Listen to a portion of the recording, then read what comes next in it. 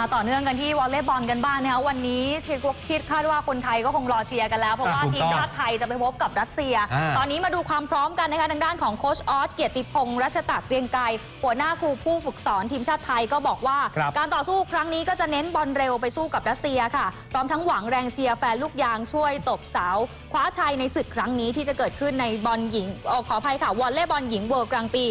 2016 ค่ะ ครับก็นัดแรกเนี่ยเราเจอกับ ของแข็งอย่างบราซิลครับอืมปรากฏว่าก็แพ้ไป แต่ว่าแพ้ไปแบบคนดูมีความสุข เพราะว่า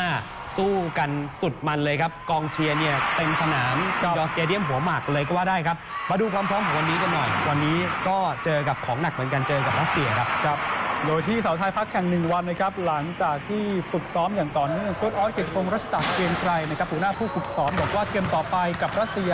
ผู้เล่นนั้นสูงใหญ่นะครับแต่ไม่เร็วเท่ากับบราซิลจะต้องปรับเรื่องของบอลเสิร์ฟและพยายามตั้งบอลแรกให้ดีนะครับอืมบวกกับต้องพยายามใช้บอลเร็วที่เป็นจุดเด่นของทีมที่มากขึ้นนะครับ อย่างไรก็ตามนะครับเกมนี้นุสราต้อมคครับำยังคงต้องใช้การบาดเจ็บ แต่คาดว่าน่าจะลงสนามได้นะครับ ค่ะอืมนอกจากนั้นโค้ชออสก็ยังพูดเพิ่มเติมด้วยนะคะ บอกว่าแรงเชียร์จากแฟนลูกยางไทยก็จะมีส่วนสำคัญเหมือนกันที่จะทำให้เราสามารถเอาชนะได้ค่ะ ก็เป็นอีกหนึ่งปัจจัยนะครับที่แต่ละทีมที่เดินทางเข้ามาแข่งขันอืมวอลเลย์บอลเวิลด์กรังปีนัดสุดท้ายของไทยเราทั้ง 6 ทีมเนี่ยค่ะเกรงกลัวมากก็คือกองเชียร์ของทีมชาติไทยนี่แหละครับ ยังไงวันนี้หากใครสะดวกก็อย่าลืมไปให้กำลังใจกันด้วยละกันนะครับแต่ทีมชาติไทยเจอกับรัสเซีย แต่วอลเลย์บอลนี่ไม่มีปัญหาเรื่องฝนตกใช่ไหมครับ ไม่มีครับไม่มีนะในร่มในร่มกีฬาในร่มนะครับค่ะ ก็ต้องบอกว่าเกมรุกของไทยเราค่อนข้างที่จะหลากหลาย แล้วก็ครับทำให้คู่แข่งแต่ละทีมเนี่ยปั่นป่วนได้เหมือนกัน แต่สิ่งที่เสียเปรียบมาตลอดก็คือเรื่องของรูปร่างนั่นเองอืม อันนี้ต้องว่ากันที่แท็กติกกันต่อไปนะครับ